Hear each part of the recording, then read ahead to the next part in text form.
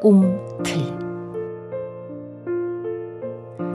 어떤 나라에서는 물이 없어서 아이들이 더러운 웅덩이 물을 마신대.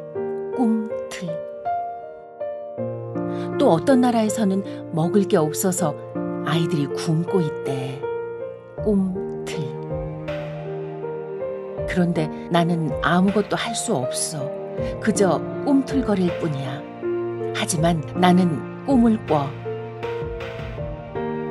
새가 되어 아이들에게 날아가는 꿈. 구름이 되어 아이들에게 떠가는 꿈. 아니면 바람이 되어 아이들 곁에 머무는 꿈.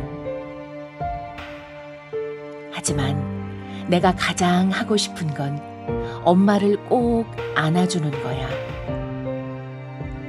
문이 열리고 시원한 바람이 들어와 훅 엄마 냄새다. 꿈틀.